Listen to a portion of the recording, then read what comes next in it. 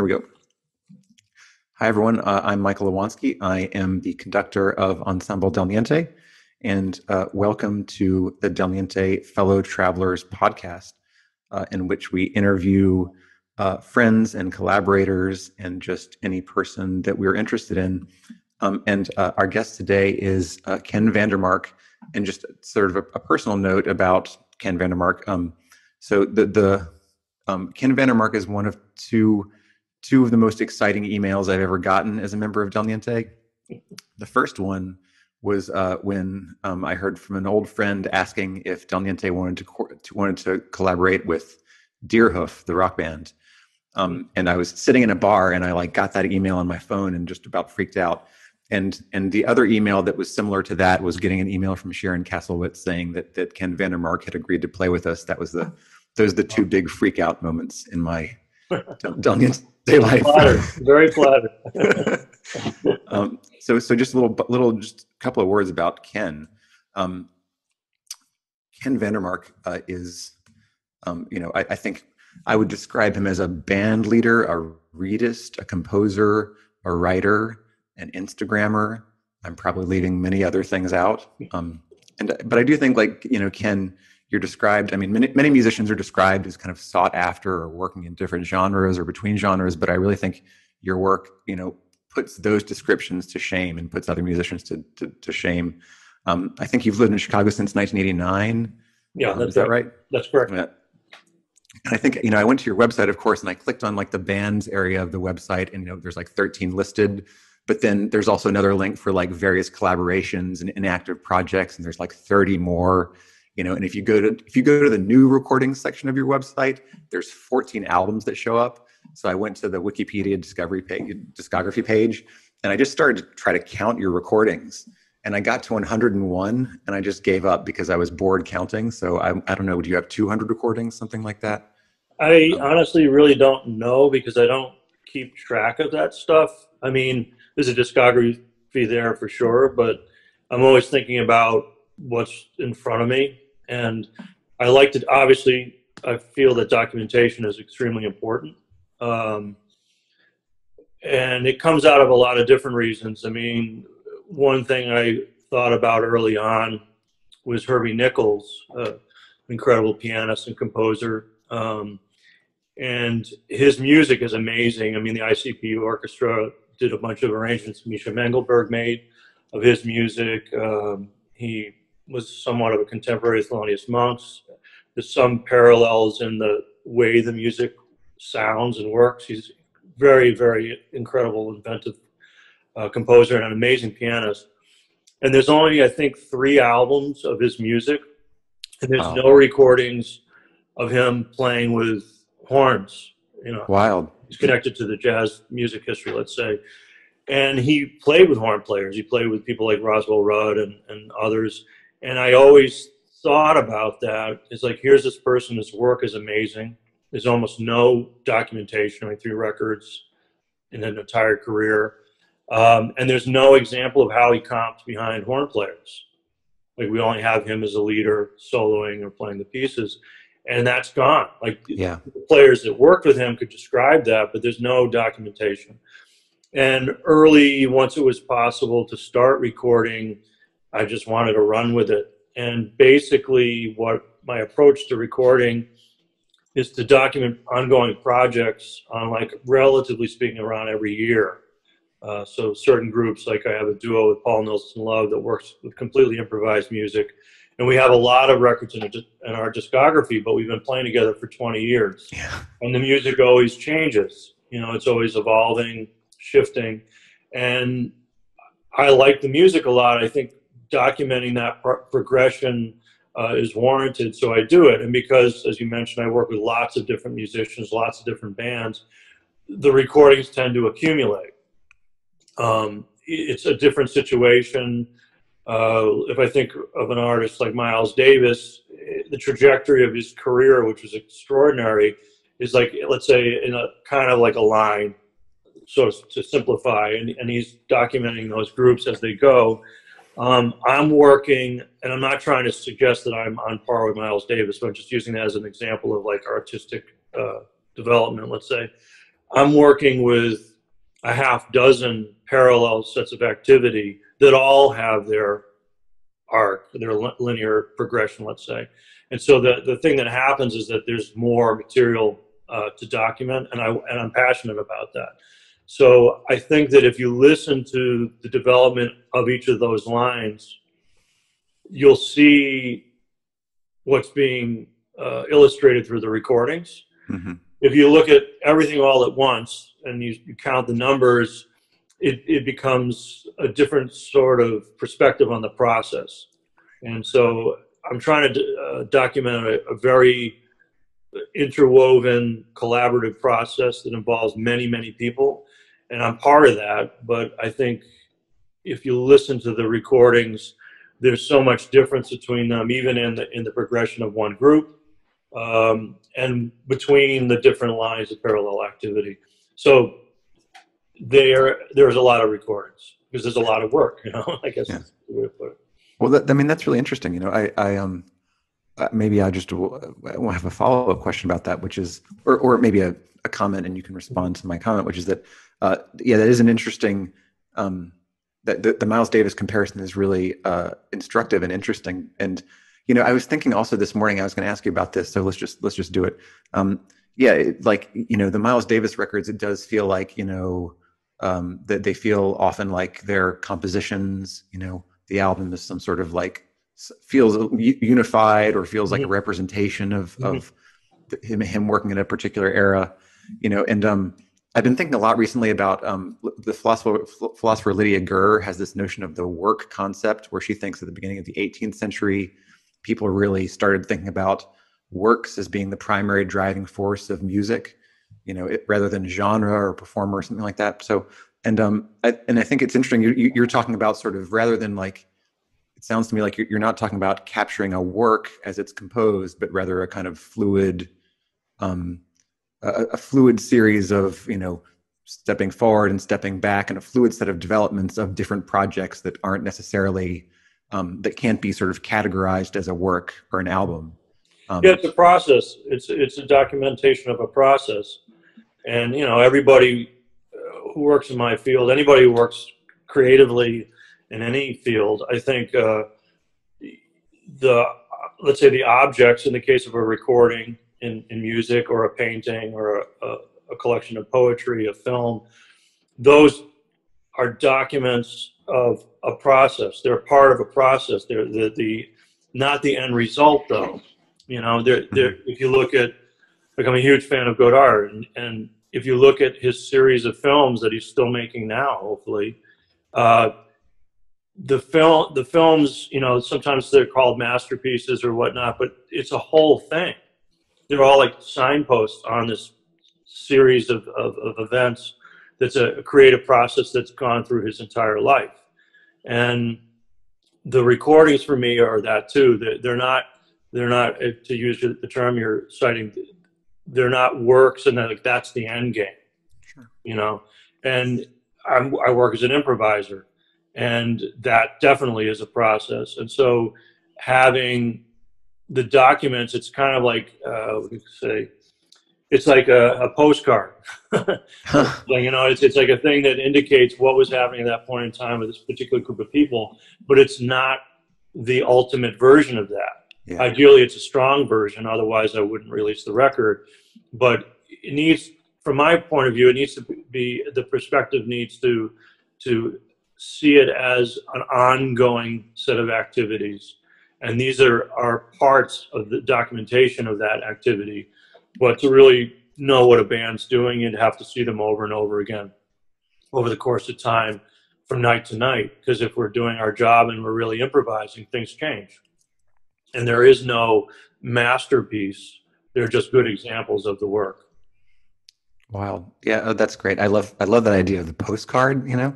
Mm-hmm. Um, that it reminds me. There's a um, a composer Aaron Einbond who has a series of pieces that he calls he's, he calls sonic postcards, and what he literally did is he literally uh, has a recorder, a field recorder, and he goes to a place and records just the ambient sound that's happening that day, and then he actually transcribes it for ensemble. So it's oh. this weird kind of complex relationship between a totally spontaneous thing happening in the world and like then a thing that an ensemble kind of reproduces.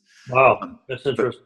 But, yeah, but I, I think I mean, and I'm also, you know, you're and you're talking about improvisation, and um, it, it, it sounds to me like sort of what you're saying is that you know there's of course the improvisation that happens in in real time, you know, during the concert during the show, but also maybe the um the accumulated series of recordings over 20 years or something like that um, between you and, and Paul Nielsen Love, if I'm pronouncing the name correctly. Mm-hmm, yeah. Um, P A A L. I was like, I don't know. I was thinking, you know, my Norwegian is not great. That's what I say. So you know, years I've been doing it wrong. That it's that's what it is. Yeah, but I mean, it's almost like that accumulated series of recordings is itself some sort of like long scale improvisation or something like that. Um, yeah, I mean, it it is. Uh, how do I put it? It's a conversation that keeps going, you know, as long as it, it, it's rewarding to the both of us. I mean, we did a tour in Japan in December and played 16 shows in like, I don't know, 22 days or something. It was amazing. And the whole time the music kept changing and evolving, you know, and, and so in a sense, like the recordings are, are, yeah, chapters, like, like a moment in time over a thing that's still going, you know, it's still, still active. And, and I think, as a fan of music, you know, to use the Herbie Nichols example again, I mean, I wish there were more recordings. you know, I, you know, I couldn't be there. I couldn't hear him live and play. You know, I didn't get to see those things. And you know, um, the fact that there are just this three documents that are so amazing. Um, as a fan, I wish that there were like thirty you know, uh, to, to hear the variety of what he did and over time, because they were recorded very, you know, in a short period of time as well. And when you hear someone like one of my heroes in music is Derek Bailey, and you listen to the recordings from the beginning to the end, and and you know the, the diversity there. If he had only made three recordings, you wouldn't know anything about Derek Bailey, really. So, like, I feel like okay, I have an indication of what Herbie Nichols was about artistically, but in the but in the reality, I don't really know, you know, and and so so I, I think about those things, and I think about about uh, the rationale behind doing the records because understandable understandably people um, you know can be critical of that. It's like do we need another record with you and paul? And my response to just use that example. Mm-hmm. and my response to that is well i think so because yeah if for me the, mu- the the the music keeps changing it's fascinating and this is part of the process and here we're in a different place now. And like in japan we played all these concerts and like five of them we collaborated with musicians from japan you know and that changed what we did you know playing. And so that whole thing like we have these recordings and actually while you know we're, we're quarantined self quarantining and whatnot. You know, he's in his hometown in Norway in Stavanger, and I'm in Chicago, and we're going to be working on these recordings now because that's something you can do and kind of go through them and figure out how to, to work on them and, and release them.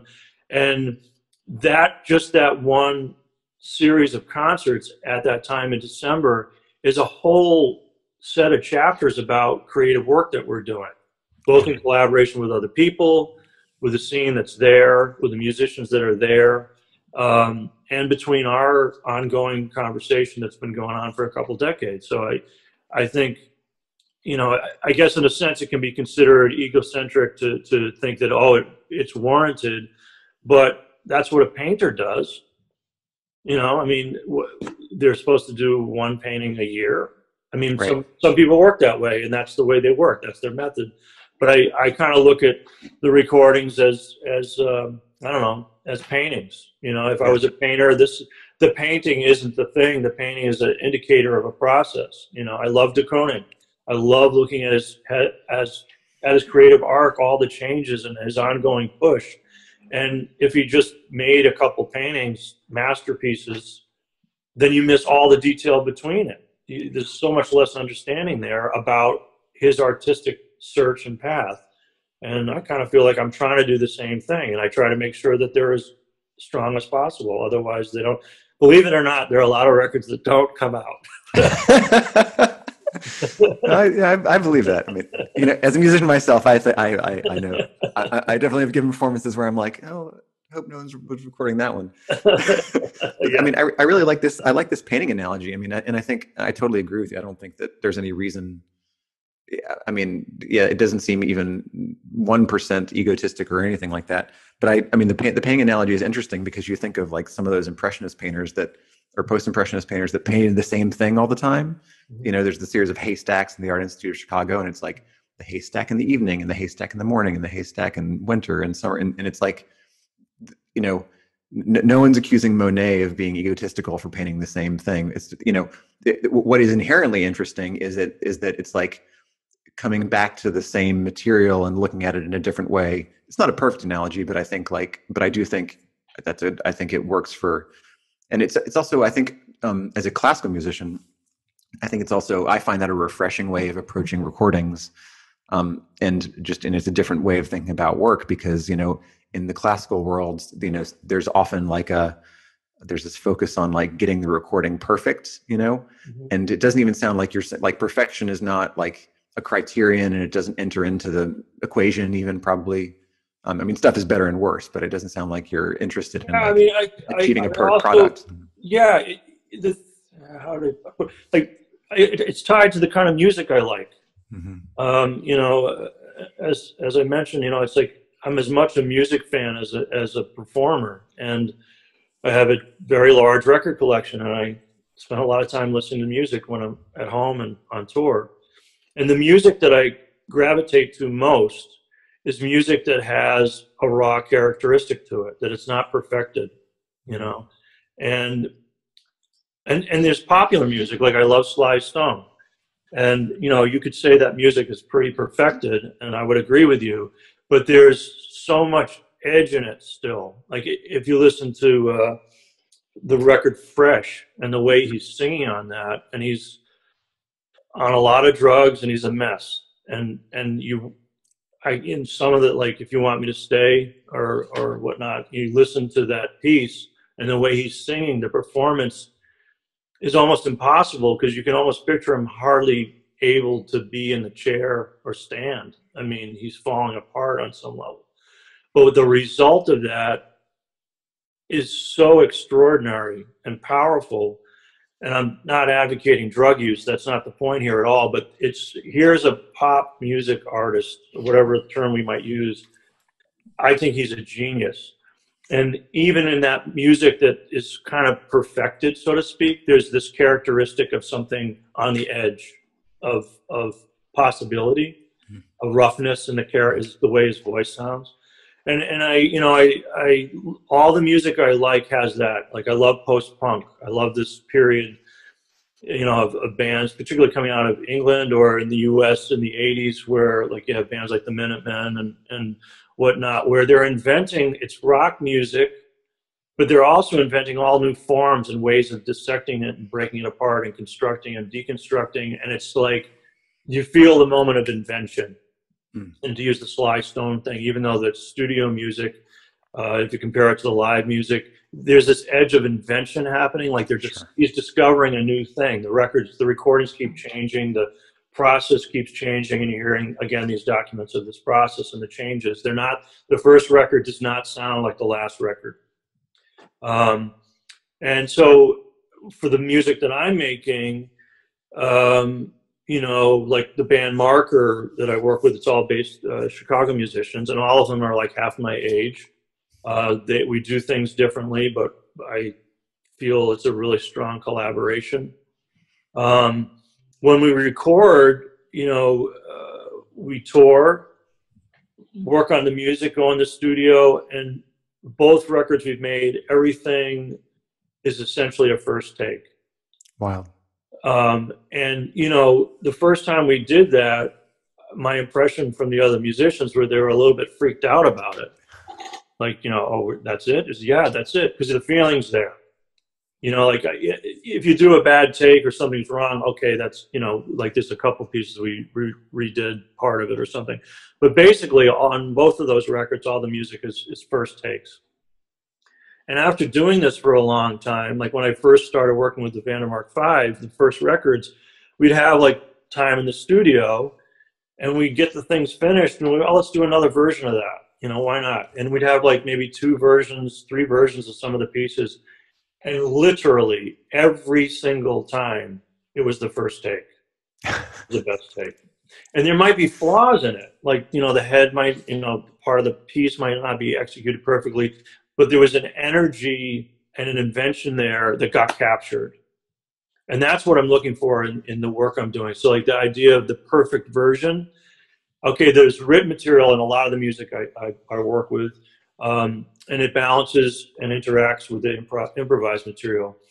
And that balancing act like you can work on the head and like maybe play it better and play it better but if you're coming out of that or moving towards it with improvisation and you know it's not like night to night you're playing the piece again. It's like back to back back to back or, or within that day trying to tackle this material and uh, that's composed and how it should impact your improvisation and you're supposed to like what reinvent it from zero again?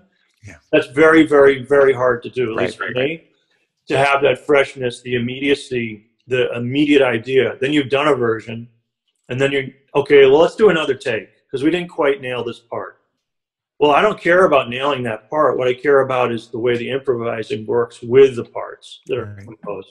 And if we get the things the piece comes across the character of the piece the nature of the piece i don't really care so much if there's a flaw somehow.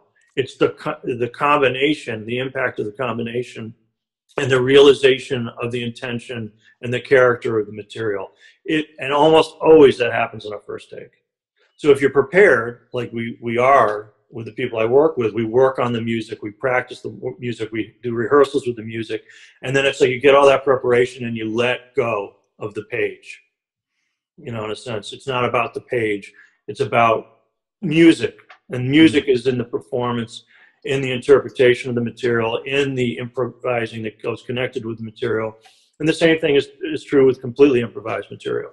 Mm. you know uh, it's it's like you can do takes after takes after takes of like open improvisation but the human mind has a, a limit to generating uh, fresh material you know? At some point there's diminished returns you know? And you have to live with the mistakes but i'd rather live with a mistake and have an, a strong performance and realization of a, of a piece of music if we're using compositional materials.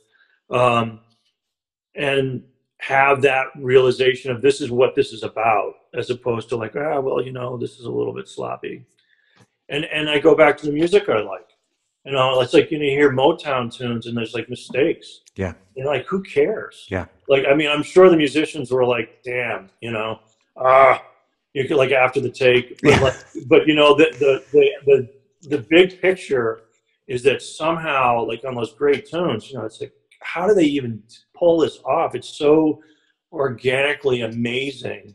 And and the bass doesn't come in right somewhere but who cares? Because the Right. energy of the thing is is captured. And that's why we keep listening to that music over and over again. Not because it's perfect. It's perfect on another level of perfection.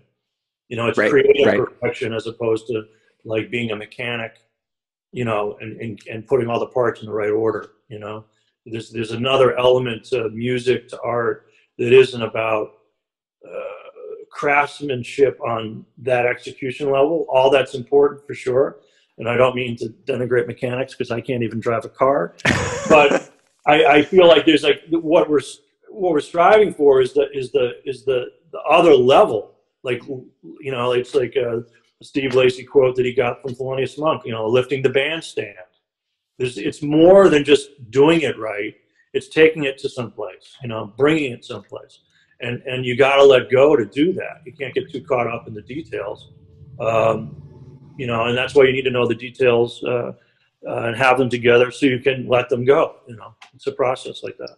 Right. I, I like that. You have to know the details so you can let them go. Yeah, this kind of it reminds me of like in um, you know, I think in like classical music recording land, there's kind of like there's often a tension between like studio recordings, you know, highly perf- perfected and like and uh and live recordings. And it's interesting to me that like yeah, live recordings of some certain kinds of pieces are really like these kind of almost like fetishized objects because like it, it as you're saying, it's like it's astonishing that a record exists of this particular moment in time. I'm Mhm. thinking of like there, there's this performance of the Beethoven Ninth Symphony that that that Furtwängler did with the Vienna Philharmonic in 1942 in Germany during World War II. Wow. And and it's just like it's this, you know, it's kind of out of tune and whatever, you know, but it's like this hair raising, like terrifying thing where like the orchestra almost like goes off the rails at the end if it's as if it's protesting Hitler's birthday. It's just like it's a crazy document. There's no other performance like it. And right as you're saying, you couldn't possibly, you know, capture that energy except in that moment in that mm-hmm. place and like no studio recording will will will will achieve that level of intensity and terror you know say yeah it's a, it's it's also like a completely different thing i mean i'm connected like it, it, i use the studio almost always the studio for me is a way is like documentary you know yeah. like it, it try it's like capturing what we do in concert in live performance in front of an audience in a studio environment which often helps uh, clarify the sound and things like this. And there's certain things you can do in the studio, especially now with everything digitized, where you can fix a mistake pretty easily, and you know whatever. So you, you get some things that maybe are, are improved uh, on some level, you know, technical level, let's say. But the live recordings too. I mean, a lot of the things I put out are, are from performances um, in front of an audience and you know they're very different. I mean, you, you know this for sure. I mean, they're very different experiences as a performer, and those differences impact the kind of work that results. And you know, I like to like when you mentioned live recordings of, of music, you know, classical music. It's I'm a big fan of Glenn Gould, and one of the uh, um, uh, uh, Goldberg variations is a live one um, from Salzburg. Mm. And I love that recording, and there's mistakes in it. Yeah. But it doesn't matter because there's something else happening, and it's like you can feel like, like it's so such a magical performance and totally different. Like that's a that's a huge part of Gould that I love is like when you hear these versions of the Goldberg variations, it's like almost like I mean I what I understand about his process and working on the pieces he dealt with all kinds of relationships within the composition that altered the way he performed it. But honestly, especially the Salzburg thing, it really feels like he's an improviser.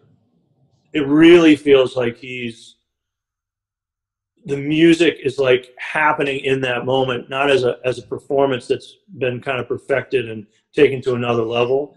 It's like he's hearing it that way at that time, and this is how it has to be played.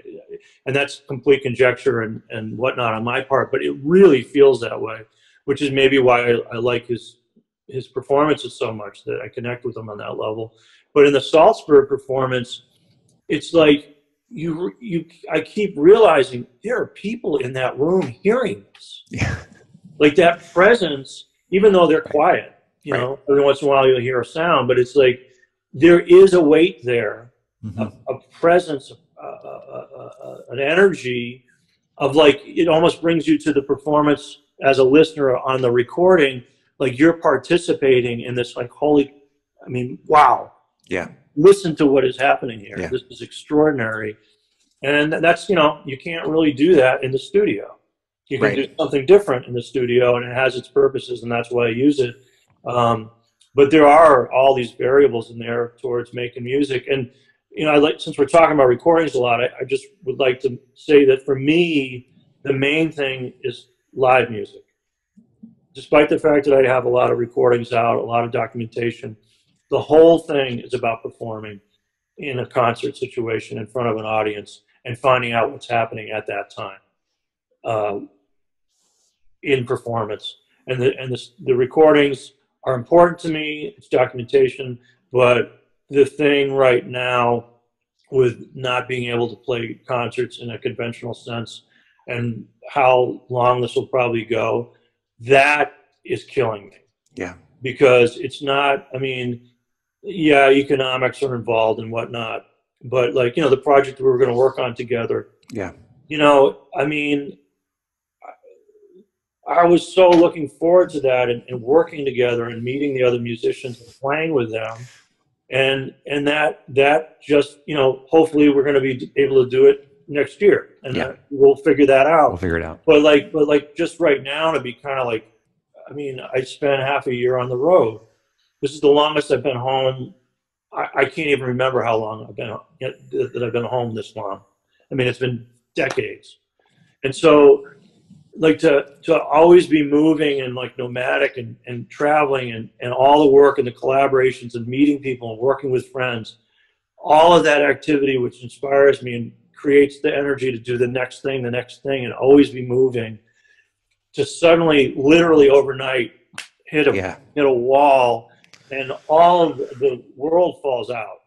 And like try to think of like, oh man, I mean, like it's it's those things that that performance thing that is the hardest thing to contend with.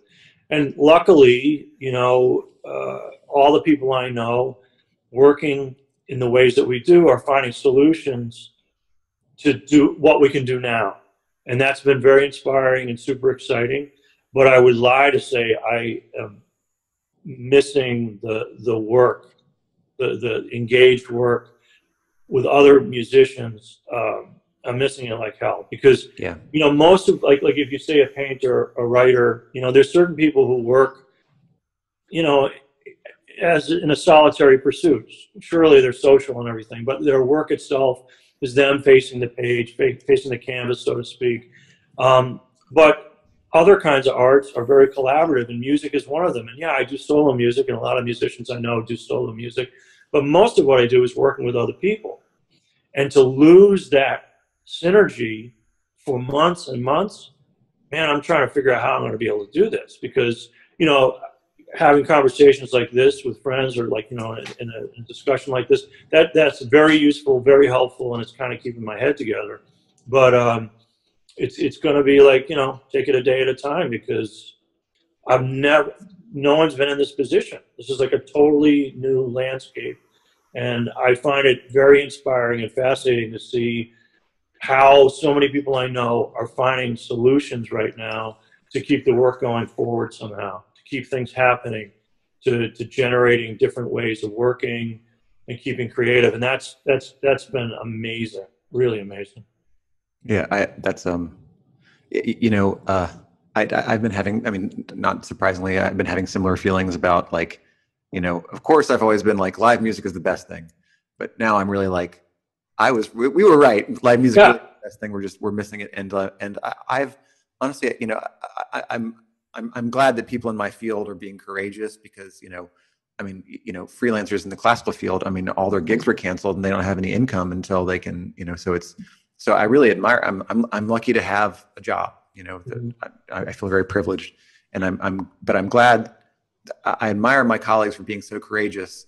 But to be honest, I've had a hard time watching online concerts because when I watch an online concert, I'm immediately like, oh my god, I miss concerts. Mhm.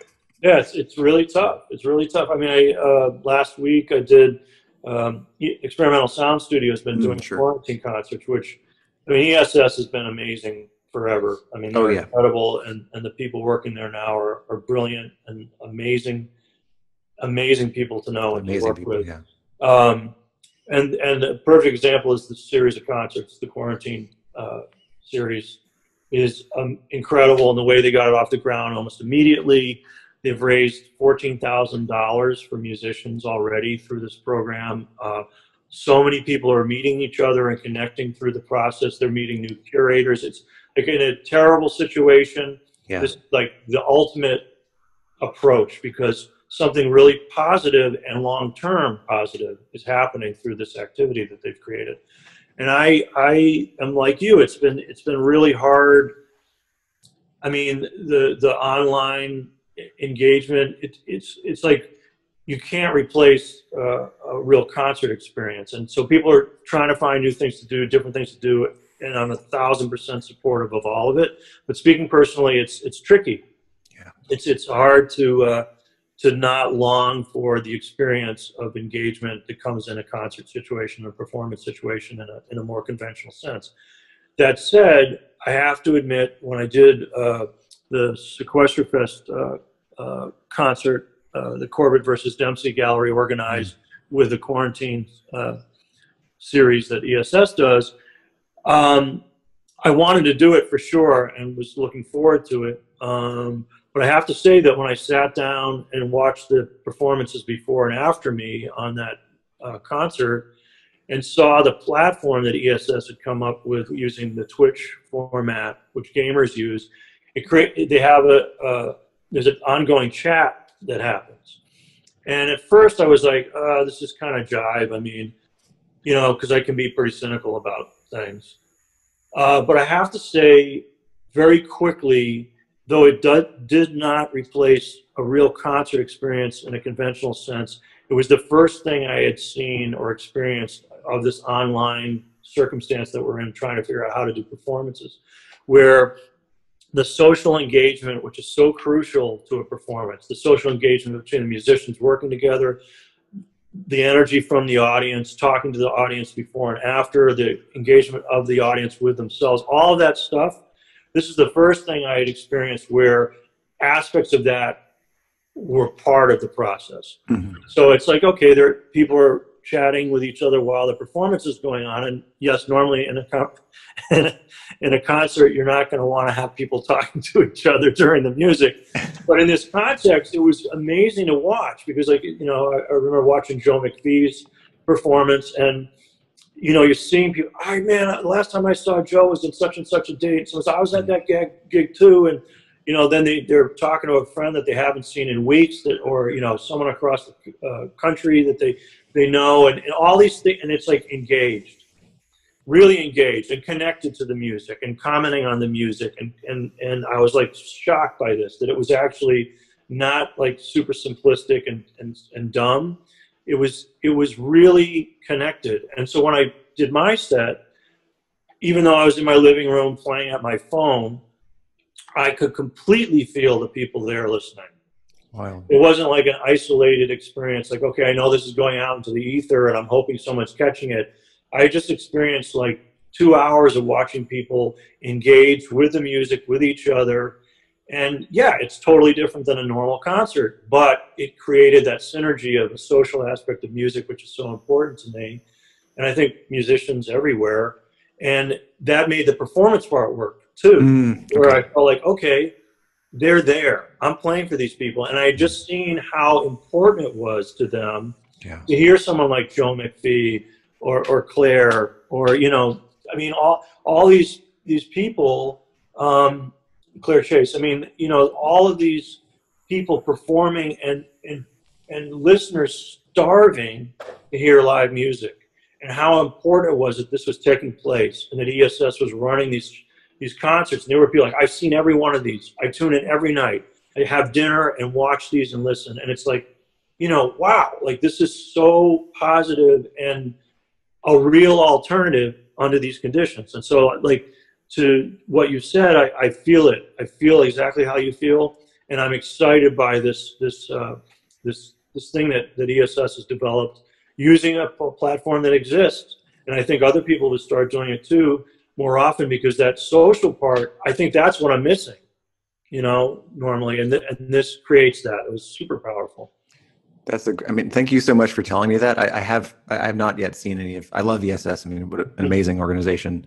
And I haven't yet seen any of the quarantine concerts. But check it out and see what you think because it, yeah. I, I, it creates that kind of energy that I think we're both missing in a conventional performance in these circumstances. And everyone's trying to do the best they can and figure it out but I was very impressed by uh, the engagement from from this uh, this platform. Yeah, I've, I've been waiting to figure out, you know, um, right, like uh, I've been waiting to figure out who's going to do the thing in this particular circumstance that doesn't just feel like a poor substitute for a concert, right. but rather some way of taking advantage of the situation. And actually, like the, the sort of social aspect that you're talking about, people chatting that wouldn't actually other. I mean, of course, if you're if you're at a concert, you're not going to be like, "Oh, hey, nice to see you." you know like you're going to listen to the music so that, that's a really the idea of the audience having an important role in the music but a different role mm-hmm. that that's the, the, you're you're the first person that's made that has like uh, suggested actually a way of using this positively rather than just a poor substitute. So thank you. I'm going to check out these concerts. I mean, yeah, I, I, you should. I, I think you'll, you know, it, that's the thing. That's the thing is like, we, we can't look for a replacement for a thing that's only possible in a live context with people right. room together. Right. There's a ritual. There's a ritualistic aspect to music that goes back to pre-language, probably. You know, and you cannot replace that under these conditions. You know, you can do a Zoom conversation, uh, let's say a concert, have a bunch of people playing at the same time, maybe maybe some way that can work, maybe this, maybe that. There's no way you're going to replace that real experience of everybody in that room together experiencing the sound taking place in real time. That said, solutions are going to have to happen because we're going to go nuts. We're going to have to have live music somehow. And we're right at the front end of this thing. And already, uh, using ESS and the quarantine conscience as an example, there's some really interesting solutions happening that don't replace the thing itself, but create an alternative that provides a real experience under these conditions that uh, connects socially as well as like musically within the limitations that exist. So it's like a, a, the part of what made it successful was the realization, oh, this isn't trying to be a concert, right? Like conventional sense. This is what this is. Right. And this is right. people talking to each other in real time while the music's happening. Some just listening and watching purely. Others having a conversation about a show they saw some other time, or like just saying, "Hey, Joe, amazing," or whatever it might be. But that's a different thing you know, and, and it's, it's its own thing. It's its own viable thing that we have right now. One example, and I'm sure people are going to come up with other things that maybe even better. And, and that's the fact that it's already happening so quick is like a, a, a testament to the greater resilience of people right now. It's amazing what people are doing. Yeah. Oh,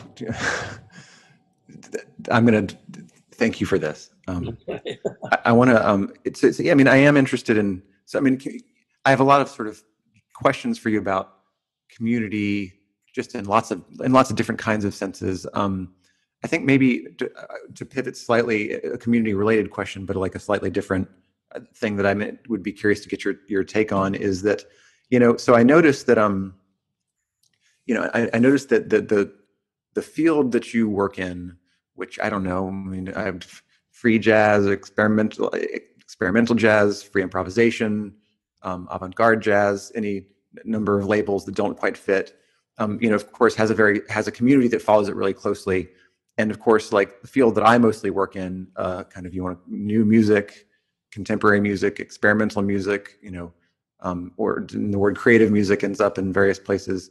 Uh, you know, my field also has very specific, you know, strong followers and a strong community um, and you know, a thing that, that's interested me about these two musics, you know, your field and, and my field, is that like it seems to me like they actually have like a lot in common, mm-hmm. um, both both in terms of like you know sometimes just the sonic result. Like I saw mm-hmm. I saw you play with like Macie Stewart and um and what's her name the percussionist? Oh, Claire yeah, Claire Rousay. And um I saw y'all play last summer, and you know it just struck me that like so much of what you played would just be right at home on a Dal Niente concert you mm-hmm. literally just could have put your performance on a Dal Niente concert, and people would have been like, "Yeah, legit, it's a Dal Niente concert," you know. And um, so I, I am curious. So on the one hand, and also like both of these fields kind of experiment with form, and they experiment with timbre, and they experiment with like harmony and all kinds of, um, you know, and they're really like transgressive fields in a certain way. And and I, I notice, however, that like it seems it seems to me, and you tell me if you don't accept the premise of this question, that these communities you know, are mostly separate, and I think they're interacting more than they used to, which I think is, I hope, is good. But I wonder if you think they're s- separate, why you think that is, and do you think that's a good thing or a neutral thing, or do you not accept the premise of my question? Any of the above? No, I, I, I do feel all the things you're saying. To be honest, I mean, uh, from the standpoint of like, let's say the music itself, definitely the fields. Uh, you know, let's say the improvised music field and the new music field, just to use yeah, sure. monikers. Uh, there's a lot of overlap uh, aesthetically right now, you know, and, and there has been for a, a while. But I, I love uh, new music composers, and I've been fortunate to meet a few people who have helped key me into like com- contemporary composers. Um, uh, Klangforum Wien, uh, uh, Anders Nyqvist, the trumpet player. I got to work with him on a project led by Mats Gustafsson a couple years ago. And, you know, he, he gave me a list of composers. And I, it's hard to find, I mean, if you are in that field and, and researching that field directly, certainly you're going to get the information about the, but to, to go to a musician who works in that field and get feedback from them and get a list of people to check out was very, very helpful for me and huge. And definitely the range of uh, composers that they've been working with and hearing some of the recordings that they put out. Um, the I you mentioned form, and you know timbre. The things have moved, and the different composers are working with form in very, very, very, very, very different ways. And so right now, you know, you have someone like uh, Eliane Radigue on one end of the spectrum, and then um, you know Lachenmann on another end of the spectrum. And those they're older composers, and there's a lot of younger composers in the mix of that dealing with. But the, the point is that there's a huge range of activity that's under the umbrella of new music now, and is right. accepted as like viable ways to work.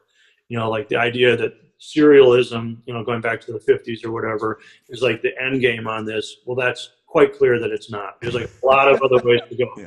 The same thing is true in my field, where people, you know, a lot of what the the aesthetic basis is, is about pushing the envelope on extended techniques, different kinds of uh, construction, whether the music's completely improvised or it works with uh, with composition. Most of the composers that I'm excited about are peers of mine that are dealing with form, the questions of form. How do you organize music with composing, integrating improvisation? What's the balance on that? What are the shapes of the pieces? Let's get away from the basic shapes. How do we do that? Why do basic shapes work? You know, all these questions, they're, they're asking those questions too. And all that really does overlap in terms of aesthetics between these, let's say, two different kinds of fields. Um, the weird thing is that because there are these parallels, even though there are differences in the way things get made, that most of the new music stuff is, let's say, to simplify, tends towards through composition on one sure. level. Mm-hmm. Or, it tends or, to be notated for sure. Yeah, you know, and, and tends and, to be. Tends to be all right, and, and even if it's not, you know, there are pieces where like there's specific guidelines to what activity has to take place in a certain time, whatever. Whereas, like with improvised stuff, even if there's a written piece, like that can be bent in many different ways. Hopefully, if it's good, and so there's like differences there for sure. But the overlap in the audience doesn't take place as much as you would think, just from the surface of like what you're hearing. If you're excited about Helmut Lachenmann, let's just use that example. Um, well, then wouldn't you be excited about, you know, Derek Bailey and Evan Parker and Tony Oxley playing? Like, why not? Because there's like elements there that are concurrent, you know? But I think part of the issue is that the musicians don't collaborate enough. It comes from the source. So if you see improvisers you know that was what was so exciting about the Dal Niente project. Yeah. was like okay you know i'm i'm known for being part of this uh, aspect of the chicago music scene. You guys are known for this part. And okay we're gonna we're gonna be in the room together. What's gonna be the end result? It's gonna be different than you working on your own and me working on my own. And that's exciting. Right. The cross pollination process is essential to me uh, and for me. There's no question about it. But that kind of collaboration considering the overlap in aesthetics doesn't happen as much as you would think from a from just like a logical common sense basis. I think it's happening more now.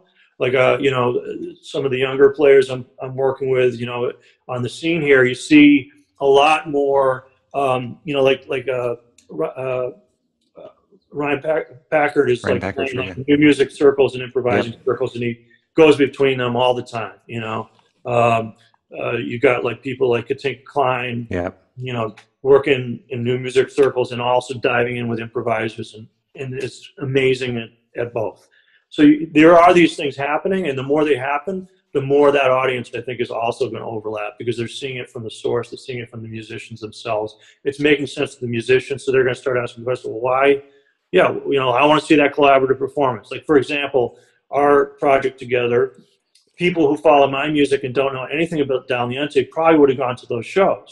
Right and vice versa. Vice versa, exactly. You know, the total, and then then everybody benefits from that. Yeah. The musicians do from like a new project, a new way of working, new mm-hmm. ideas come out of that.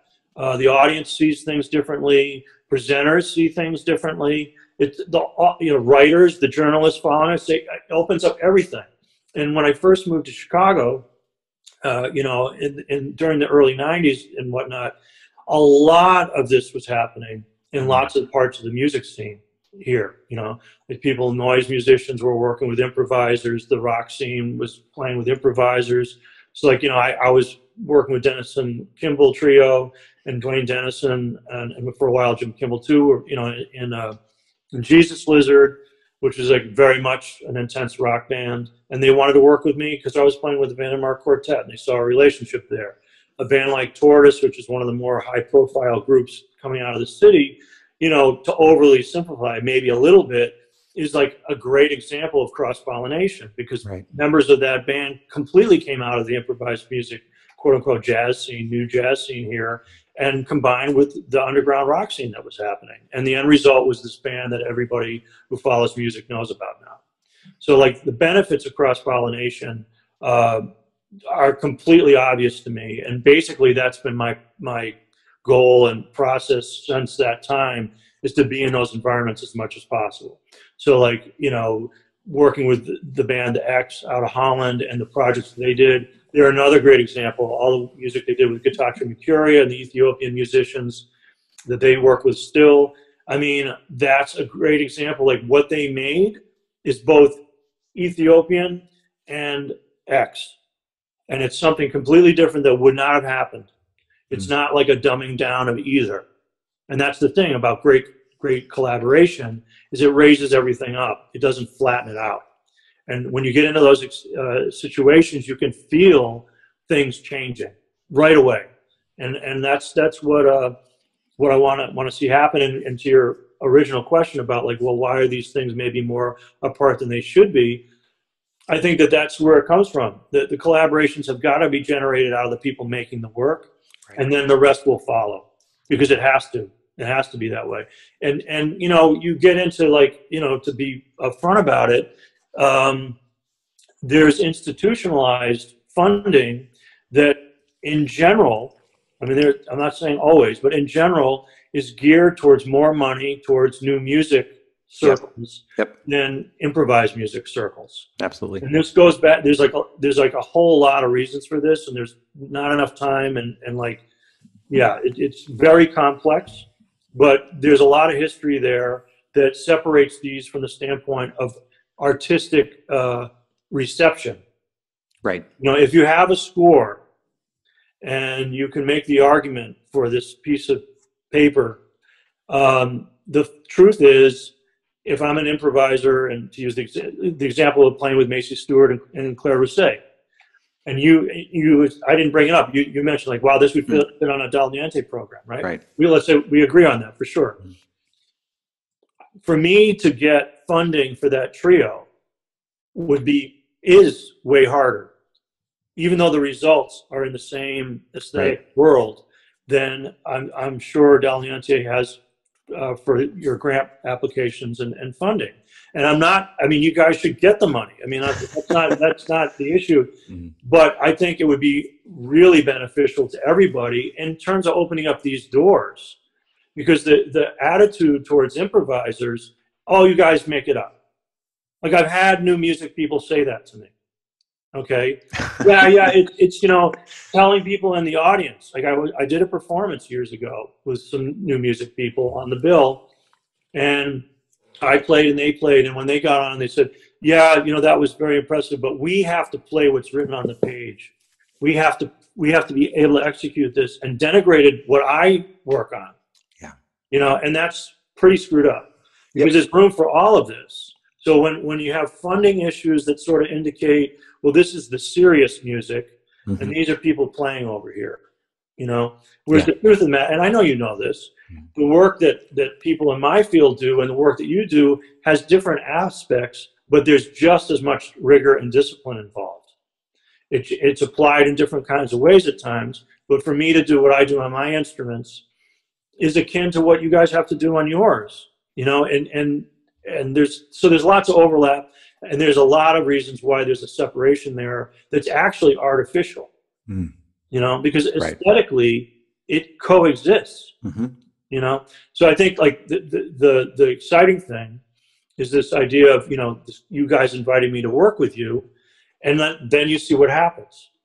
You know that's those are the bridges that need to happen and be generated out of the out of the performers and, and the, the creative people making the work the initial thing itself and then and then the reverberations happen people come and say wow this is exciting i mean people went to shows in that period that I was talking about, you know, in the early '90s, all kinds of people from all different uh, scenes were going to the same shows. You know, uh, I mean, not to make it about me, but just to use the example, like uh, I noticed very early when I was doing shows with the Vandermark Quartet that all the shows were at Hot House when it was in Wicker Park, which was like the epicenter of all of the artists and musicians. A lot of them were all in that area. So there was a lot of uh, cross pollination happening just because of that proximity. I mean, Chicago's a huge city; it's spread out all over the place. For a while, Wicker Park, everything was happening there. Wicker Park and like a lot of a lot of clubs, rock clubs, musicians, artists. You know, it's cheap to be there, affordable. That's not true now, so it doesn't exist. but but like I noticed so many rock people coming to our shows because I was going to rock shows and seeing the same people in the audience. And I so I booked a show at Lounge Ax with Fred Anderson's band, the Vandermark Quartet and NRG Ensemble. Um, like I can't even remember, like 1990, I don't know, four or something like that. I can't remember now. But the place was packed I mean, literally packed with people, and it was all the people that would go to Lounge Ax to see a rock show, you know, and they were there, and they they totally dug what we were doing, and I was like, okay, this makes sense. Put this music in front of that audience, and they the the they will make the connections. So that's what we have to do. It's like you know, like the thing your your invitation for me to come work with you is exactly that kind of thing, where it's like we do that, and they will get it because it will speak for itself you know, maybe very specifically to people who understand your music, mm-hmm. maybe very specifically people understand my music. But even if they don't have those histories in their listening background, they will the, the self-evident uh, synergy there will speak to them on whatever level they can receive it, because that's how music works. I mean, I've seen people go to hear Paul Lytton play. I did a show with Paul Lytton and Kent Kessler in a bookstore, a free concert, and we thought it was going to be a catastrophe because you know the audience was like grandmothers and, and their grandchildren and you know people with their pets. I mean it was like you know oh man this is and they loved it. They uh, um, this is absolutely Paul Lytton was like oh why are we going to do this? This is crazy. And it's like well you know we got a fee for it. We're on tour. Let's just you know do what we can do. And it, it, i was stunned. I mean we had people like 70 year old grandmothers with their kid you know grandkids coming up and say that was the most amazing thing I've never heard anything like it. And that's when I realized the music speaks for itself. You just right. got to get it in the room. You got to get it in front of people, and if it's good, and Paul Lytton and Kent Kessler are amazing musicians playing at the top of their game, everything's going to be fine. The hard part is getting them in the room. You know, and that's that's part of our jobs. It's like me figuring out how to get people to come to my shows, and the same thing for for you at Dal How do you get the word out? Because yeah, you have this core audience who love it. But for example, our core audiences should completely over. They should be the same. Yeah, right. Yeah, you know, and and that that expands the audience because not everyone can come to every single show, and like that that's part of our work is you know opening those doors up, making those connections by doing the work together. You know, right. not, you know, it, has got to be more than like, well, this makes sense. Yeah, okay, and then we go off on our ways. Yes. It's like we got this makes sense. Let's make it happen, and that's why your invitation was so fantastic, and why I'm excited that it's going to happen. It's just a little bit of a pause, and I've been working on this Roscoe Mitchell piece still, so I'm ready. we have we, we yeah we have two. Um, I've gotten a few messages from my ensemble members being like, "Oh my God, this look at 140 or 120 or whatever." Um, I feel it. Yeah, yeah. But uh, no, I think this is. I mean, everything you just said is so so interesting, and I, and I do feel like the the funding question is also. I think you're really right to sort of point out that question as being a, a key one, and I think um, that's a good. Um, I, I sort of think sometimes, uh, you know, musicians, you know, since it's such an insecure you know financially insecure field that like sometimes musicians have a kind of zero sum game approach where they're like they don't want to give any little piece of an audience to someone else someone else mm-hmm. but i really think the philosophy should be the opposite which is that like it's not a zero sum game there's a lot of people in the world and a lot of people that want to go to shows and our job and, and it really feels to me like if anything this is always what i do so i'm just going to like do it but like i really feel like you but like i blame capitalism for like creating genres you know whereas mm-hmm. like i mean we can you know we got the free jazz section of the record store and the new music section of the record store and like that's a way for them to try to sell you records but like genre is useful, I think, in one sense, but also in another sense, it's a real hindrance, right? It really gets in the yeah. way of like like-minded people collaborating. So I don't know. I mean, do you have thoughts about? I mean, just genre in, in general. Is that a thing you think about or don't care about, or? Um... Um, yeah, I think about it. I think I think to your point, uh, categories and, and, genres, you know, uh, can be a real trap, uh, creatively, but also like in terms of like getting your work out to people on all kinds of levels. The, the tricky part is, you know, we're working in a field that's fairly abstract, I well, very abstract. Let's just be straight yeah. up about it. It's, it's abstract. Yeah. yeah. And being able to talk about it with words, um, you know, means you got to have a language for it. And, and that's a that's a real challenge. Like I, I feel for as many arguments as I've had with journalists, uh, you know, I feel for their role in this. It's very hard to talk about music in clear right. ways um, just as it's hard to write about art, you know, great, people would do a great job writing about art. I mean, that's an accomplishment. Um, we need people to be able to articulate this stuff because I don't have time to do it. Working on something else, you know. But to try to talk about work, you know, like like just our discussion about you know your field and my field, so to speak, new music field versus improvised music field when we start, we need those terms in a way to actually have that conversation because we need sure. to have a sense of what is the subject. And to have a subject, you got to have terminology. And the problem is the terminology really stinks. It's not good. And and people like I think Anthony Braxton's terminology for the for music is phenomenal. Like once you understand it, it's very clear, it's specific, it describes the thing, you know, the term describes the subject really well and the conversation can be very clear. Unfortunately, not everybody knows that terminology, so it's right. not really useful. Not everyone's going to read Forces in Motion to get a handle on on Braxton's lexicon, uh, which is too bad because it's a great book and it's and he's amazing. And mm-hmm. Braxton's work inspires me maybe more than anything else. He's I'm in awe of Braxton, but like to be able Heard to here first.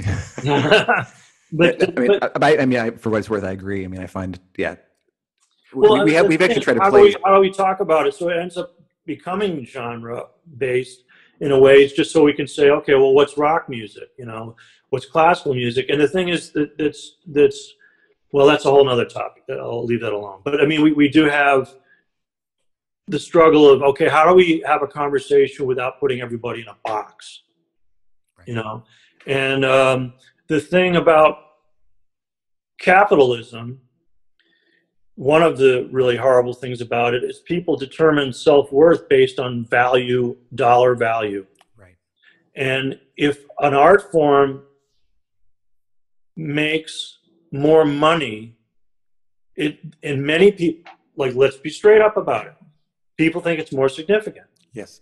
If it gets more funding, therefore it's better if they don't know any more about it. Like, you know, so someone, like, it, just put it, this is a weird example maybe, but you have someone like Madonna in her early career, very controversial. She tried, you know, remain controversial for years afterwards. It was a very good marketing uh, thing on one hand, but she was also opening up a lot on the other hand. Very, you know, like, and, and her her use of Catholic imagery and her open open uh, uh, her openness about uh, her sexuality, all these kinds of things, very very controversial. People outraged by her presence in the in the universe. She became very very wealthy, and as soon as that happened, as soon as she started selling lots and lots of records, the controversy remained, but she was totally accepted. Every she's on the cover of Us magazine you know, you, I mean, it, she's part of the universe and accepted for it. If she had not made any money, not only would like we not be talking about her right now, but all the things that were controversial would be the only thing in the conversation at all, if there was one. Money talks, and we live in a capitalist world. It speaks to everybody. So if contemporary art is selling for $2 million, people who don't know about art look at it and they go, well, it must be, it must be important. Even if they don't know about it, even if they don't like it, you know, it's significant because of its dollar value or its euro value or its yen value. And, uh, you know, if uh, one kind of music is, is celebrated economically over another one, the message there isn't just about the money, it's about value of the work. Right. So people who don't get funding or their funding pool is very, very small, um, that their sense of self-worth can be impacted by that. And certainly the perspective on their worth artistically can be impacted on that. So it turns into like a very problematic uh, discourse. Kind of self-reinforcing cycle also. Yeah, exactly, where, you know, exactly. And it is connected to, to capitalism, to your.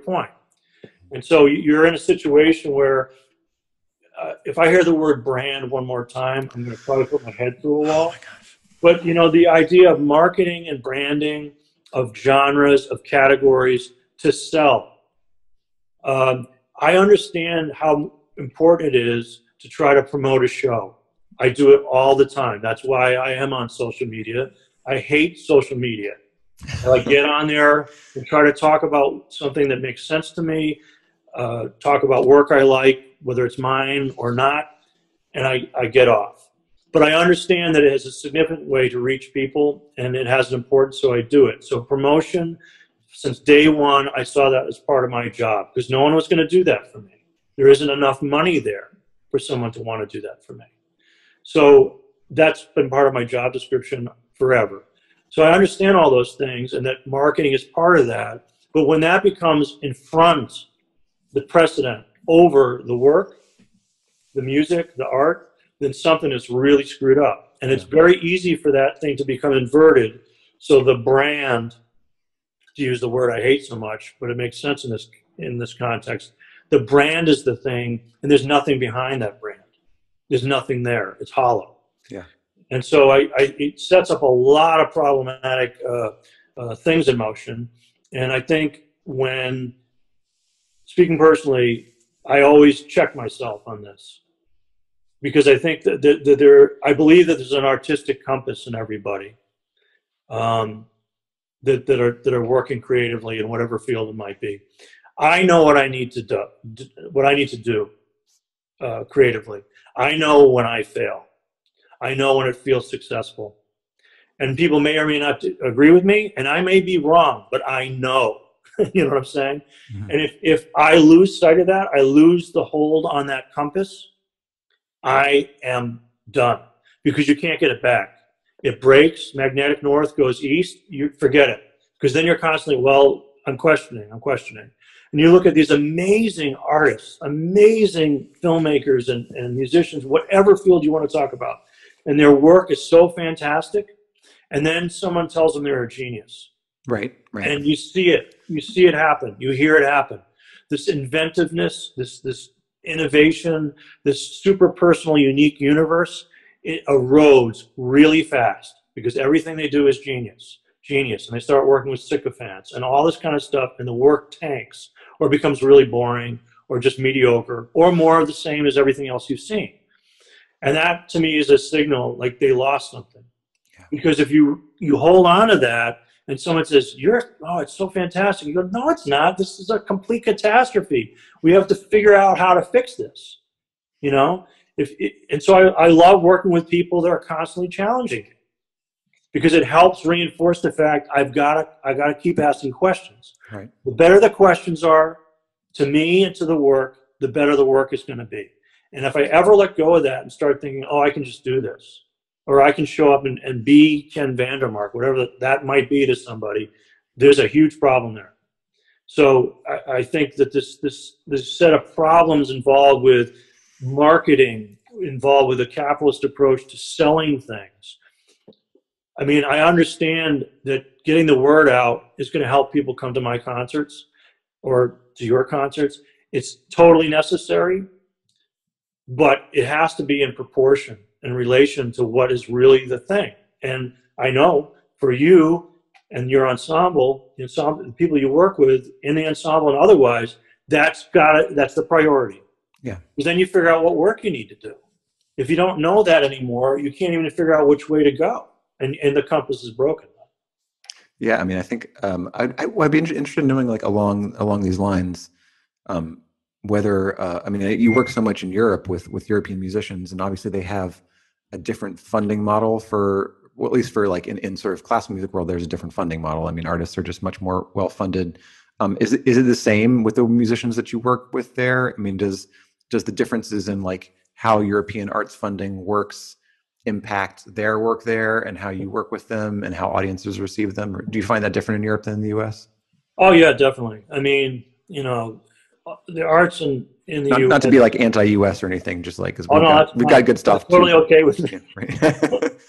I mean, I mean, okay, a little bit anti-US, but no, I mean, I mean, the reality is the arts. Uh, it doesn't matter which kind uh, in the United States are, are a footnote unless they're profitable on a on a huge scale. You know, um, that's historically been the way it's been. You know, um, and uh, you look at like David Tudor is one of my favorite musicians, and you look at the people he worked with, and the early part of his career was probably very economically difficult for him, and he was committed and remained that way his entire life to the work and making amazing things as a pianist and then as a as a electronics musician. Um, I mean, and he's considered one of the great musicians of the 20th century. I mean, uh, as a performer and composer and whatnot. So that's just uh, one random example. I mean, it, it, it in the states, it's going to be on the background. It's it's just going to live there forever. I mean, it's to keep it to Europe. There's a history there of the art being part of the culture, Right. being significant, like food. You know, like if you go to Spain and that friend, you know, you have the food, you have the, the wine and, and alcohol. You know, the, the amazing things they make there, and they have their art and their music, and that's part of who they are. You know, and that's different here, and it's changing. I think. I think there are definite changes. I mean, you know, food has become way more important in the last decade.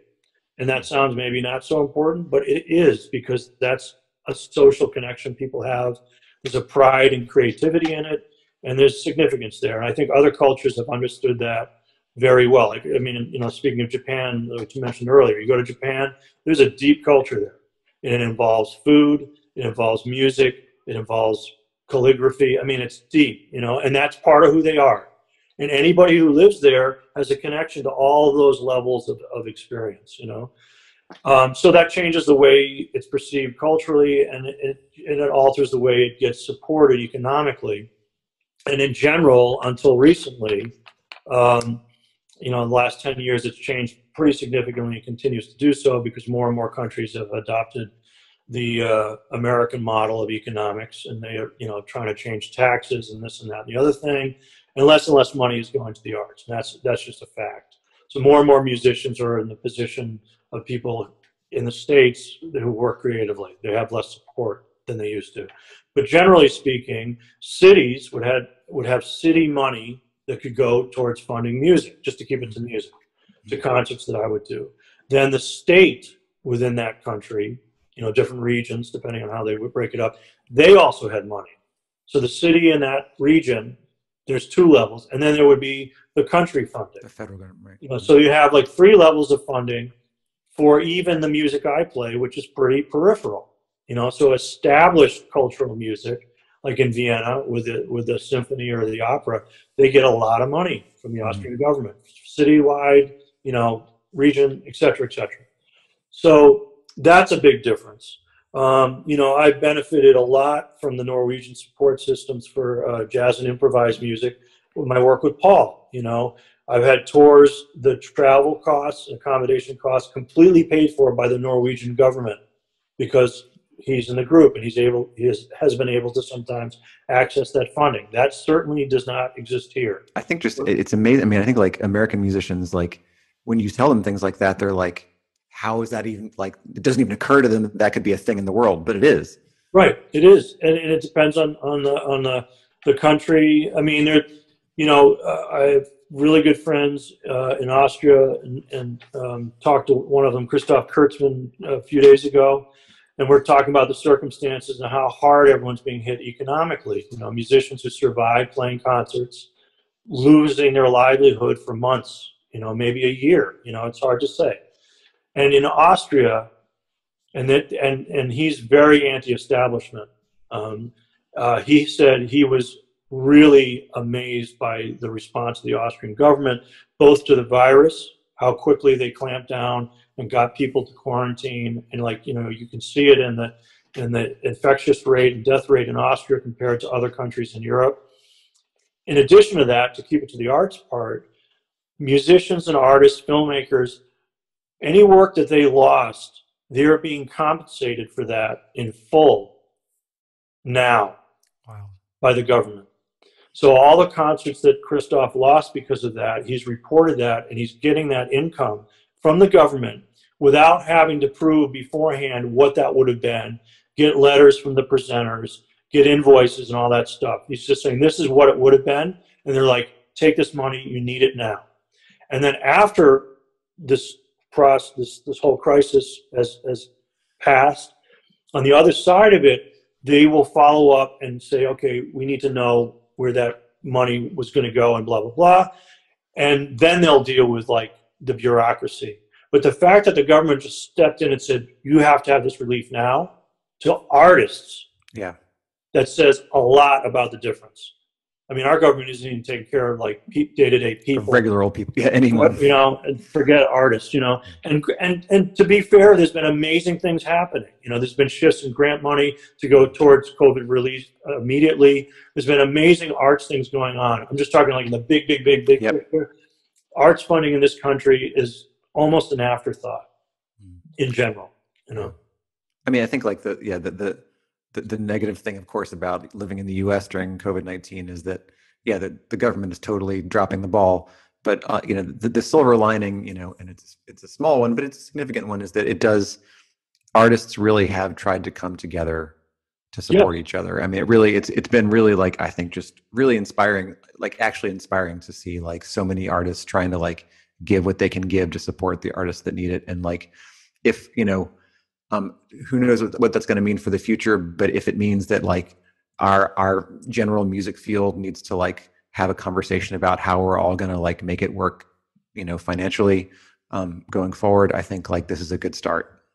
I agree with you completely, and I think that that um, the people we know, I mean, one uh, totally inspiring, amazing, all the different things that are happening, amazing. On one level, I'm not surprised. Yeah because the people that yeah. we work with are problem solvers. If you don't have funding to get something done, you find a way to do it anyway, and you find those funds, or you do it on a shoestring or whatever. Same thing creatively, the kind of music you make, the people you work with, the choices you, you know, how you challenge yourself. These are all people, I mean, everybody I work with is like that. They inspire me continually, even before this insanity uh, so now, when it's like the, the stakes are really high and things are really, really desperate for lots of people, they are completely stepping up and meeting that challenge because that's the way they are. That's just the way they think. They're wired that way. So, on one level, it's like I'm not surprised. On the other hand, I am totally inspired and yeah. amazed, and and it, it just makes me want to do more and more and more. Um, and I think what you know, there's a, there's terrible things going on it's a terrible time. There's amazing things going on too, and and I try to focus on that so I don't get overwhelmed by the negative negative news that's happening, and the and the tragedy that's happening, and try to pay attention to the great things that are happening. And I am very excited to see on the other side of this when the dust clears and we get back to some kind of normalcy again, and concerts are possible again, and the social creative things are in synergy again. Um, how much comes out of this period yeah. pushes things forward in great ways. Because what gets learned here with the people that I know, it's going to be learned permanently and will be embraced going forward into situations where the necessity of having to only do online performances and etc. What gets learned in that will go forward to figuring out, okay, uh, conversations like this talks about how do we get better resources for everybody. Let's even the playing field for everybody Let's get more things to happen. Let's not maybe have zero sum gain in the arts, at least, you know, because more creativity is better, you know.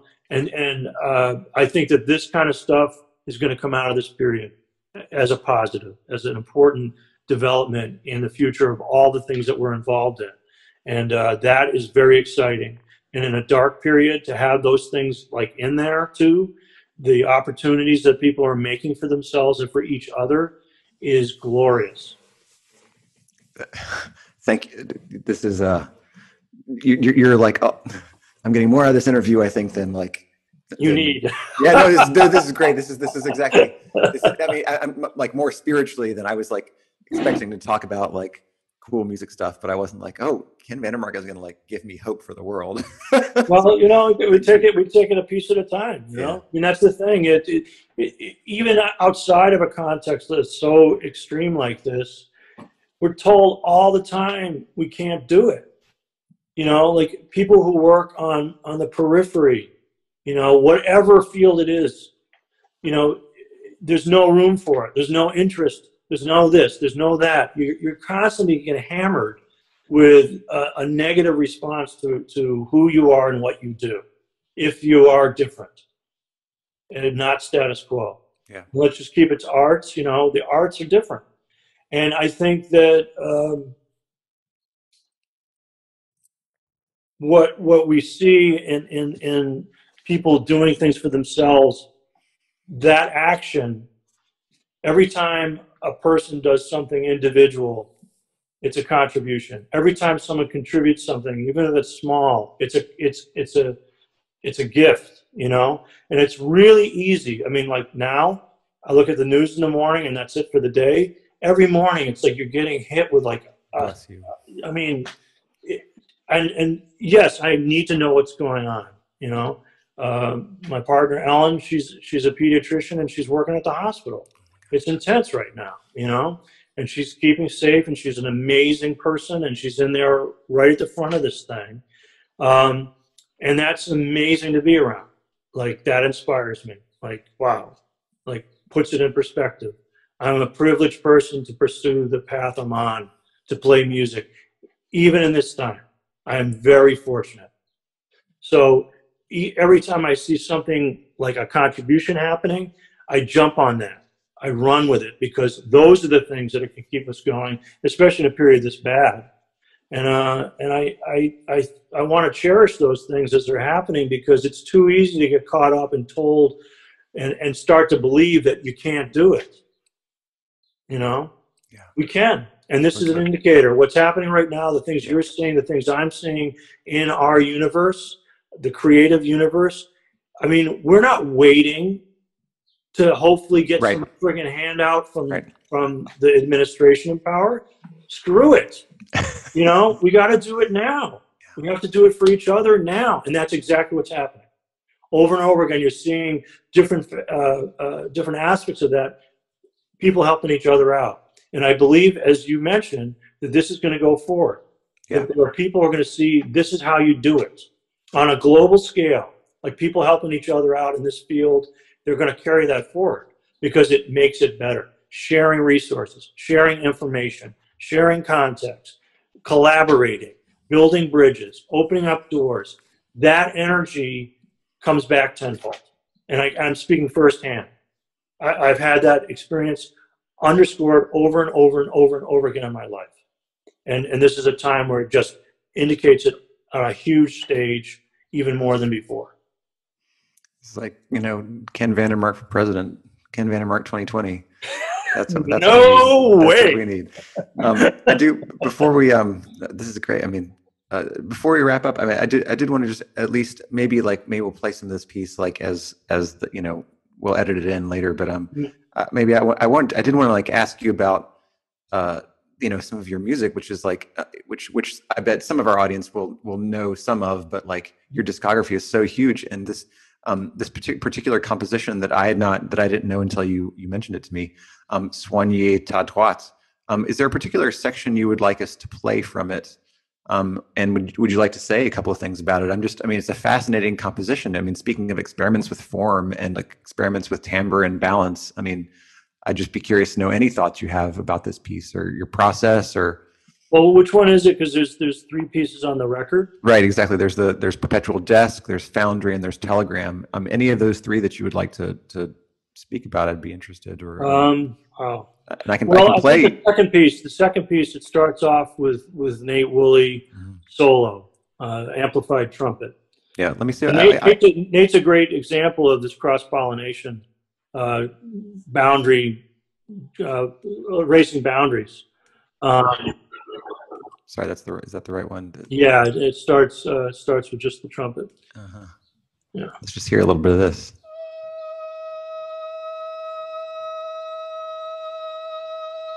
That's Nate singing. Trumpet, is amplified. And Nate's a perfect example of this cross boundary thing. He, uh, he, he works with new music, works with Ileana D we just performed Chicago in, uh, February. Mm-hmm. And um, I mean, basically, I, I, guess I picked this because it starts from a solo standpoint. And what Nate did there, we had rehearsed all week. Uh, I love writing for large ensembles, and this group is really exciting for me. We got to do a, uh, a residency in Krakow in October and did a bunch of concerts and yeah, great group of people, amazing people. And and Nate, you know, we had been rehearsing it and you know running the piece and going over the parts and we had done like kind of a dress rehearsal the day before and it started with the solo thing and I wanted him to use the amplified trumpet because what he does with it is completely amazing. I mean, it's, it's, incredible. And he, and he came out. Uh, it was you know like a sold out concert at a festival in St. Johann, the Artacts Festival in March of 2018.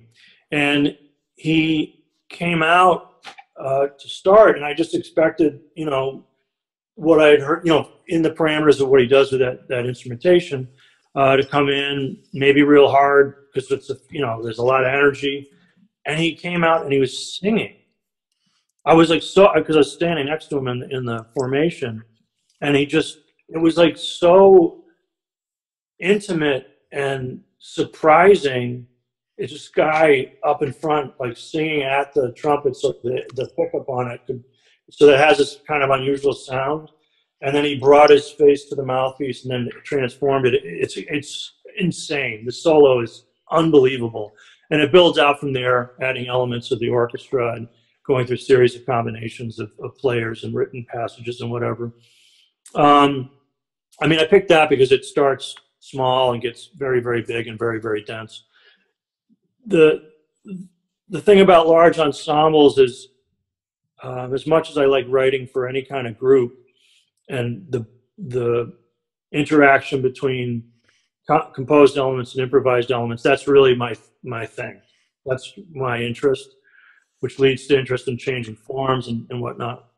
Um, the thing with a large ensemble is uh, you know, I think there's 10 people in the group. Christof Kurzmann joined in, in October, made it 11. There are forces. There's like physical mass and sound. And I got to be honest, there's something really great going to that. Yeah. When you, when you, have also the, the, the colors involved, you know, in the horn section, Mette Rasmussen is playing alto, Nate, myself playing clarinet and tenor. There's piano, turntables, now Christof's laptop, two drummers, uh, electric bass, and uh, two electric guitar players, upright bass, electric bass, um, and I think that's everything. Um, I mean, there's so many forces there to work with, and you can go from complete density to this example with Nate's solo. But even with the solo thing, as you hear the piece develop and that solo develop, that's an orchestra unto itself. What Nate creates, it's like holy crap. So that I love working with that, and and you know the construction part, I I get more out of film um, than than than music. I mean, I listen to music all the time. I, I study it and research it all the time. But in terms of like making things, I think I'm too close to it, and I love cinema. And cinema is far enough afield where I look at the way my favorite filmmakers work visually in terms of constructing things. And that talks to me about what I need to do structurally and how to make things differently. And, you know, very early uh, with the Vandermark 5, I moved towards a more narrative, linear, compositional approach. and methodology because I it's like you know a film starts and doesn't come back to that moment. it evolves over a series of, of let's say episodes and chapters and whatnot, and how a filmmaker maintains tension through a period of 90 minutes or three hours or whatever it might be, that helps me deal with form uh, more than musical examples, just because my brain works visually. I mean, I'm a musician, but my thinking process is, is, is constructs things visually. So when I think of activity and music, to make it simple, it's like this is a block, this activity. So like mm-hmm. Nate's solo is a block uh-huh. And then uh, the drummer Didi Kern joins him. That's another block. And I'm building something with these blocks. And I think about it that way. I don't think about, well, okay, uh, you know, the, the, the, percussion indicates this kind of thing, and I should use mm. more percussion. I mean, I don't think that way. It's like activity. It's gesture and activity. And, yeah. and that makes it possible for me to look at cinema as a source, a resource for thinking about different shapes and different organization. And there's so many amazing filmmakers. And when you when you remove mm, the the narrative content, like let's say if it's narrative film storyline, and you look at just the construction, like the great filmmakers, they're working on that level anyway. You know, they're just like I mean Orson Welles or Godard. I mean, what I, I cite this a lot because it's maybe an easy example, but the beginning of my favorite Godard film, which is Vivre sa vie, um, it starts off with the credits. Uh, Anna Karina's looking at the camera. Uh, credits are coming, you know, being printed, and there's this really beautiful snippet of music by uh, Michel Legrand, and it cuts and shoots from one side of her face. She's in profile, and the it's it's so great. I mean, because again, it comes back to the raw thing. Mm. It's it's it's like the sound design is really raw. It sounds like almost when the music comes back in, like he's dropped a needle on a record. Mm. It's, just, it's like cut rough. It's not like this beautiful smooth entrance. The cut is pretty sharp too. Suddenly it's the side of her face. Whoa, that's jarring. More credits, and and she's the the thing that she's doing, looking at the camera. Oh, she blinks again. Oh, it's the same shot. He shot it from a different direction too at the same time. Poof, cuts again to the other other profile again with the music. It's all the same components. Mm-hmm. And then the first time I, I saw it, I realized that's not the same shot. She's it's the same things, but she doesn't do them exactly in the same order. She looks at her lips, she blinks, mm. and I said, "Holy crap! Holy crap!" And then it goes to the first scene, and she's sitting at a bar, shot from the back, which at the time was super radical because you never started a film not showing the star. You know, you can't see her face. She's looking at the bar, it's a cafe, there's a guy making coffee or something, and she's talking, and you assume she's talking to the, the, the bartender. And then the person next to her starts talking to her, and, he, and she's been talking to him, but she's been looking for. The whole film is displacement of attention, of attention, mm. uh, of attention, of, of what you hear, what you see. The entire film, I was like almost not sitting down because over and over and over again, he makes you look. You have to pay attention. The thing you think you're seeing is not really the thing you see. And it, it, that principle alone had more impact in the way I think about organizing music than music because it's like, I have to do that. I want to create pieces where people never know what's going to happen next, but not lose them because if you do it too much, it's like they you, they tune out. Like I, I it's always going to change. Godard figured out how to make it change, make you think you know what's happening and realize you don't. To to to tune in harder. I mean, there's an amazing scene in it where she's watching uh, the Passion of Joan of Arc, the Dreyer film, in the theater, silent film, and he turns the sound off. There's no no the uh, the diegetic sound's gone, mm. the hmm. soundtrack's gone. Mm you look at Anna Karina watching that incredible performance. She's weeping. Anna Karina begins to weep, and you're in a silent room, so to speak. Mm. And you don't even know that it's happened at first because you're so captivated right. by the flow. So that that whole dynamic of flow and and displacement, that is like if I have a methodology, that's the one I want to explore. in terms you know, of how do you do that? How do you do that? And you know, there's there's memory in music. How do you displace memory? How do you work with that? How do you imply like bringing? I mean, it's all basic music stuff, like you know, uh, theme and variations, introductions, you know, transitions. But when I think about it in terms of of visual work, like film work, it pulls me out of like, okay, these are the conventions. You know, like this is how you do a development. Well, you don't have to do a development that way. Or maybe it ends up being the way you do it, but by thinking outside of that musical line and looking over here to see something different, it, it triggers another way of organization that for me has been really useful.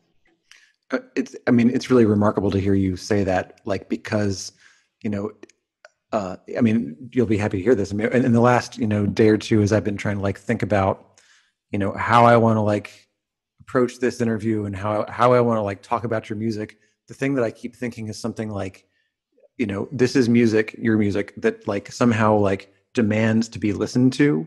It like it almost like tells you how to listen to it. It's like it forces you to listen. It's not music that you know. In fact, when like when I've tried to have your music on and writing emails or something like like that, I like I, I can't do that because like your music is too distracting. Well, that's a very high compliment. It's a, yeah, it's meant it's meant to be one. I mean, it's you know because it, it really does feel like you know my music is too distracting. uh, thank you very much. That's, you can put that on. You, that can be your pull quote. You know, on your website. You know. Um, but but but seriously, it is like that's exactly like this notion that you're talking about of like you know attention and like forcing the viewer in this in this film to to, to pay attention to all these changes. And um, that's exactly what I think when I hear your music is that it, it does really force me to it, it doesn't let me do anything else. It may it forces me to stay in the moment and sort of maybe think a little ahead and a little behind but really like it it it it, it grabs my attention and it forces me to have expectations that are then played with or something interesting like that. But it does like it, it, it just gets in your face and doesn't let you write emails Well, that's that's that's really great to hear because that that's kind of that's kind of where I want to be. I want to I want to try to find a way to make someone listen. You know, like without without like being didactic about it, but like make them listen just because they have to listen. Yeah. You know, and and pull them in and then manipulate these components in a way that, the tension never stops, even if it's, you know, slow moving. Like, I mean, I'm no Eliane Radigue, but seeing her music live for the first time when they performed, I mean, it's narrative. I was really shocked by that. I mean, the, the, the motion maybe is, is slow, it surface maybe appears static, but there's a narrative there. And that actually told me a lot. I mean, to go to con- contradict myself, that was a musical thing that told me a lot about myself. When I saw that performance of Nate's, and hearing it live was key. Like I've listened to recordings right. of Nate's music, but hearing it live, I realized the reason I liked it so much was that it was narrative. There was a, a point A to whatever, B, C, D, whatever. And on the surface, maybe you feel like you're in A a long time. But in reality, you're moving it's bringing you somewhere. That music was bringing me on a narrative course, and that's what I need in, in music. I, I, there's there's other kinds of music, and and not to say that they're not equally valuable or worthwhile, but I, I realized something about myself, which also connects to cinema. And by narrative, I don't mean like conventional storyline, but that that the music brings you from a point to another point.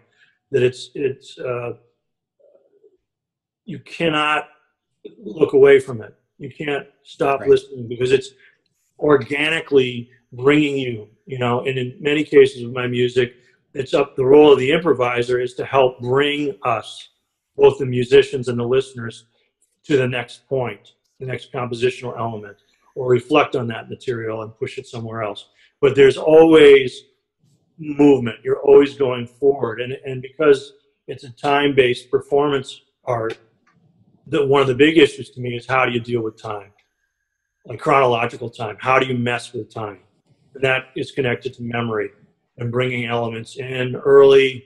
How do they feel 20 minutes later in a different context, or just revealing something at the end? uh, that was never there before? Is it possible to do that and not have it feel just like uh, an added, uh, uh, unintentional, uninteresting point? You know, I mean, it's it's these things. I mean, to again contradict myself, I think about the theatrical uh, theatricality, and you mentioned it earlier, Beethoven's Ninth Symphony. When I think about that that piece, when it was first performed, like no one knew what was going to happen. He had this chorus on stage for a really long time, and I I just and it's still now when you hear the, that come in, it's like, oh my god, it is so impossibly great Yeah. and then you think of like you were at one of the first performances where before you could talk about that stuff and like now it would be like on you know on instagram in two seconds or youtube you know but like at that time and you're in the audience and like that chorus is standing there for like know, what is it almost an Yeah, hour? 45 minutes. Yeah, right. Yeah, right. And what's going to happen? Like you talk about theater. Like he knew what he was doing. Like Yeah. waiting, waiting. Talk about tension, and then he delivers on. it. It's not like, oh, you got to be kidding. That's the end. Like, I, wow. Like if you're going to do that, you have got some. Man, Yeah. you've got some shots and some guts. Like you, you're the payoff on that is more than you can imagine. Even now, hearing it many, many, many, many, many times, it's one of my, my favorite things in music. That that experience of that voice and that, I mean, wow. And so that construction, like, wow, like I mean, that's something you can steal, but can you do it? right, right, right. Like, can you do it? And so to reverse that, Nate at the front end of this piece that I was talking about, that's like for me is an improvised Beethoven moment. Like I didn't know he was going to start with the voice. I was standing there. I was like, "What?" And like we're in this big concert hall, and he's just one guy alone yelling out into the room, basically. And I got chills. Like I got chills now, honestly. Like on my bed. Wow, talk about risk. You know, artistic, creative. Like, okay, he's got a whole band on stage, and he's doing what? Like, He's a trumpet player and he's singing. Yeah. yeah, like like what? And he'll vocalize stuff sometimes and whatnot. But like I just to have him up on that stage yelling out in the room or singing out of that, that's like I could never I never would have imagined that. I never would have scripted that. In the part, the block I gave him, open solo amplified trumpet. And then Didi Kern joins here. You can do anything with it. And he did that. The most amazing thing I could never have thought of. And that's what's great about working with improvisers like that and working with composition. He knew what was coming next. He knew that the whole ensemble was going to come in as this hyper dense kind of anthem like construction. He knew where it was going. Give me the ball. I'm going to kill this. Mm. And man, did he ever. I mean, wow. So so it's it's like that kind of excitement, like that that risk, the raw character of it, the jump to something I didn't know he was going to do. It's like that thing at the end of the ninth. What are they going to do? They're standing there. Nate's standing there. What's he going to do? What's he going to do? He's going to do that? It's like even better because I didn't know what it would be. Like if I was an orchestra, I would know that the chorus is going to come in. It's going to be amazing and incredible. But like Nate just blew my socks off by doing something I could never have guessed. That's the beauty of the of the improviser. Wow. I, Ken, um, we should probably um, wrap, You know, wrap gotta- up. You I- I- once I start talking, I'll just talk forever. I- I, I gotta go because I have a, I have a meeting. because you've got a meeting too. I, I Yeah. but Ken Ken Vandermark, I do. I, I want to say one more thing. Um, maybe the most important detail about you that, that we haven't mentioned that um, yet, yet, which is that your birthday is September 22nd, which is the day after mine. Oh wow! Mine's the 21st, so it's, it's always great. It's like it's really a, a, a genuine pleasure to talk to a fellow Virgo, um, and uh, and especially like such an erudite and like great musician Virgo. Um, it's really like a, an absolute pleasure to, to to to interact with you and talk. And um, we, we will we will perform the Roscoe Mitchell piece. Um, you know, sooner hopefully uh, re- sooner hopefully sooner rather than later. Um, But a tiny little silver lining is that at least we had this time to to get to talk about art. Um, and you know, otherwise, you know, otherwise we're both so busy that who knows when we would have found you know an hour and a half to do so. And like just getting he- hearing you talk about art um, has been like truly inspiring. And so I really want to thank you for for joining me. Uh, it's been a pleasure. It's been really a pleasure, and thank you for asking me. And I'm looking forward to the time working with you guys. I, I can't wait. It's going to be fantastic. Fabulous. Um, uh, I- uh, Igor, do you need anything else from us? You want to just unmute yourself or like?